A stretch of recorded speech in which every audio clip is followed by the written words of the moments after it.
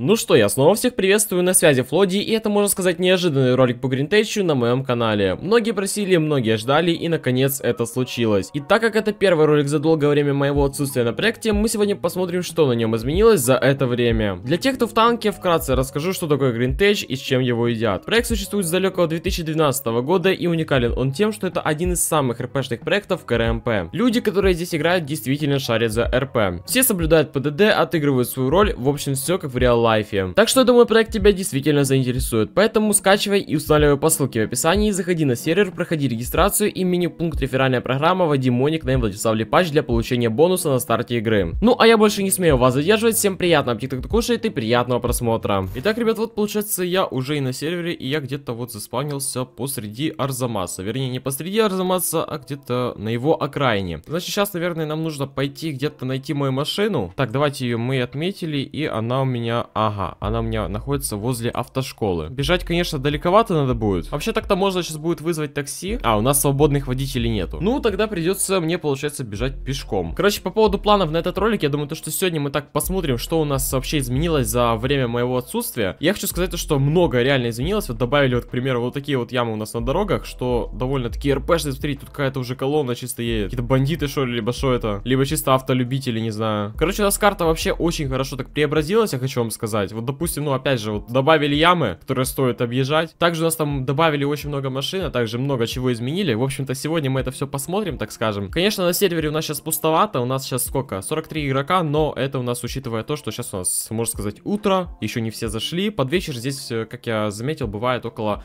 а, 200 игроков. Наконец-таки я вижу свою ЕЗЧ, ребят. Вот мне интересно, за время моего отсутствия не слили ли с нее бензин? Ой-ой-ой, ну колесико, как я вижу, тут у нас пробили, да, получается. Еще номеров у нее нету что-то. Ну, понятно, ребят. Короче, сейчас надо будет ее восстанавливать. Вот я как вспомню, в этой в автошколе мы очень долго сдавали на права, когда я только начинал свою игру. Так, давайте заведем ее. Ой, коробка передач вот это ваша. Так, а как мне, собственно, переключить передачу без нумпада, типа? A few moments later. Короче, ребята, я разобрался, как переключить передачу без нумпада. Значит, для тех, у кого такая же клавиатура, как и у меня, тоже без нумпада, то, значит, заходим в настройки, настройки, настройки управления, изменить управление и управление транспортом. Здесь мы, получается, меняем спецклавишу вверх, а также вниз. Теперь у нас вроде как все работает. Да, все, передачи у нас отлично переключаются, значит, можем теперь отправляться, получается, смотреть на введения, которые были введены. Короче, получается, колесики я это подкачал, так, бензин, оказывается, не слили, что прям очень хорошо. И, кстати, я не знаю, вот я вот еду, она капец как шлифует. То ли из-за того, что это у нас снег, либо же просто, ну, потому что Бэха такая по себе является. Ну, скорее всего, из-за того, что вот у нас, типа, гололед на дорогах, поэтому надо ездить аккуратно. Вообще, я хочу сейчас, наверное, так, а поворотники как переключать-то? С поворотниками, правда, я не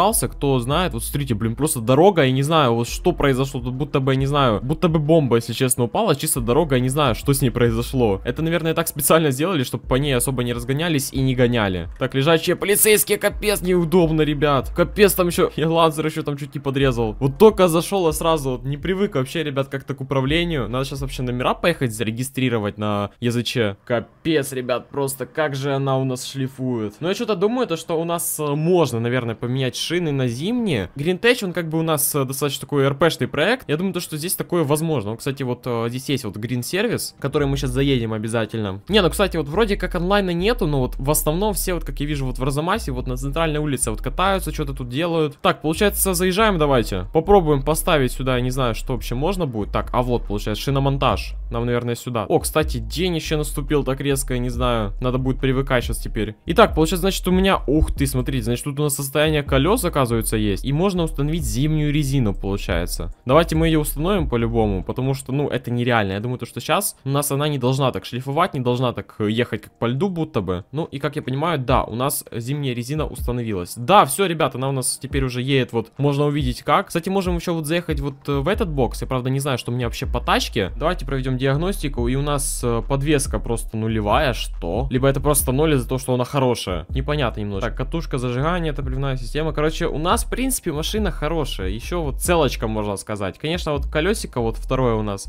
немножечко подспустила, можно сказать. Конечно, мы можем, наверное, заменить эти колеса, но просто не вижу в этом никакого смысла. Вроде бы как она и так ездит у нас. Так, у нас тут ребятки еще приехали в очередь, как встали, ребят. Блин, ребят, тут все просто соблюдают. Это как-то непривычно, если честно, после провинции, после других проектов вообще. А мне надо в МРЭО. Мне надо в МРЭО, как я понимаю, поставить номера поехать. Если не ошибаюсь, то вот мы сюда вот вроде как повернули, вроде прямо. Ой-ой-ой, а чё, чё с колесом-то?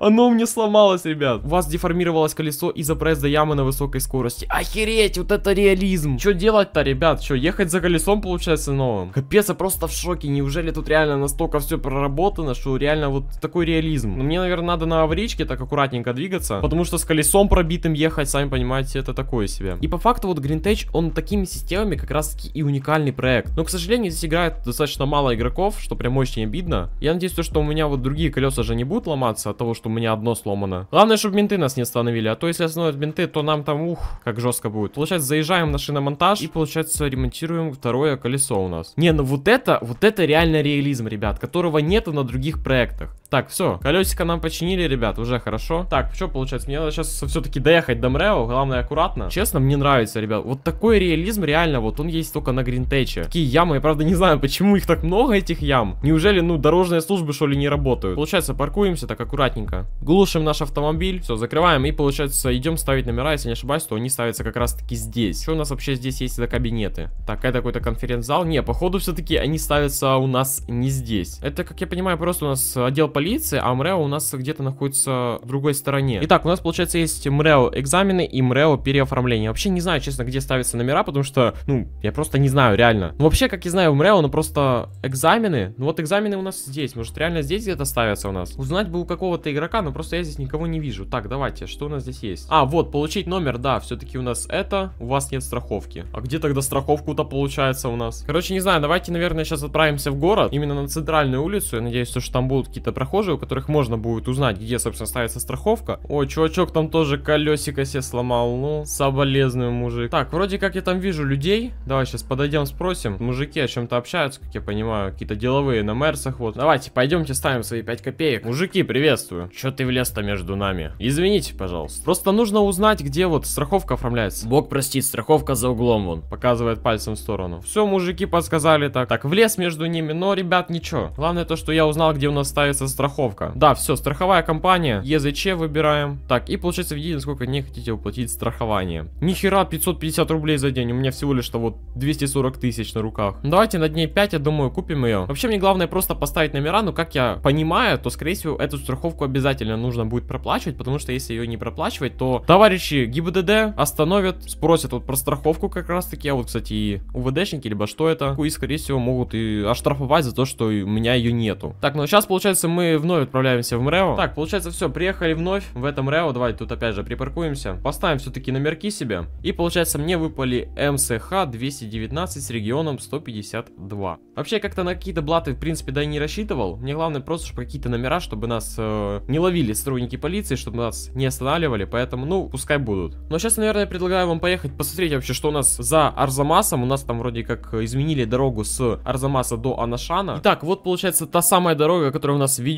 на выезд с Арзамаса. Вот, кстати, в этом здании я получал документы, и тут вроде бы такого не было. Ну, по крайней мере, тут не было настолько раздолбанной дороги, ну, реально, будто бы бомба какая-то упала здесь. Ну, вроде как за городом уже у нас дорога получше. Ну, пока что вроде как э, что-то да изменилось, реально, но вроде как и нет. И вот только я въезжаю в Арзамас, сразу тут нас встречают ямы. Вот в отличие от Южного, Арзамас, я не знаю, какой-то ямный город, если честно. Собственно, посмотрим, что у нас тут добавили. Но такого у нас раньше точно не было, когда я еще играл. Ну да, этого берега, как я помню, у нас не было. То есть его добавили вот буквально недавно. Не, ну слушайте, я вот сейчас так проехался, вот вообще вот вдоль Арзамаса, вдоль берега его. Вот сейчас тут еще проезжаю вокруг э, жилого комплекса. Ну реально как-то классно, реально. Но все равно я не пойму, почему здесь так много ям. Поэтому те, кто знает, напишите, почему так много ям в городе. Вот и подошел ролик к концу. Сегодня мы немного покатались по карте, посмотрели, что изменилось за это время на проекте, хоть и не все успели заценить. Если вам понравился данный проект и вам хочется видеть больше роликов по нем, то давайте вы поддержите видео лайком, напишите комментарий, ну и естественно скачайте и установите GreenTech на свой ПК. Ссылочки, к слову, находятся все в описании. Ну а я с вами на этом прощаюсь, всем удачи и до скорых встреч. Еще увидимся.